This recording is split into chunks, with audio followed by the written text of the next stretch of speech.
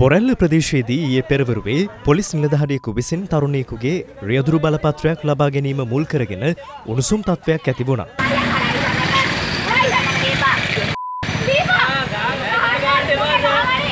එම සිදුවීමට අදාළව එම තරුණිය සහයගේ ඉහෙළි ඇතුළු සිව් දෙනෙක් පොලිස් අත්අඩංගුවට ගනු ලැබූ අතර පොලිසිය පවසන්නේ ඔවුන් සන්තකයෙහි අයිස් සහ කුෂ් නැමැති මද්‍රව්‍යද තිබූ බවයි. බොරැල්ල පොලිසිය තුළ ඔවුන් රඳවාගෙන පැය කිහිපයක් සිදු කළ මූලික විමර්ශනවලින් අනතුරුව මෙම පිරිස ඊයේ රාත්‍රියේ අධිකරණ වෛද්‍යවරයෙකු වෙත යොමු කර තිබෙනවා. එහිදී පොලිස් නිලධාරියාට බැනවැදුණු තරුණිය පරීක්ෂණ කිහිපයක් සඳහා රෝහල් ගත කර ඇති අතර අනෙක් සැකකරුවන් යළි පොලිසියට රැගෙනවා. ඔවුන් අද අධිකරණය වෙත ඉදිරිපත් කිරීමට නියමිත බවයි බොරැල්ල පොලිසියේ ප්‍රකාශකයෙකු සඳහන් කළේ.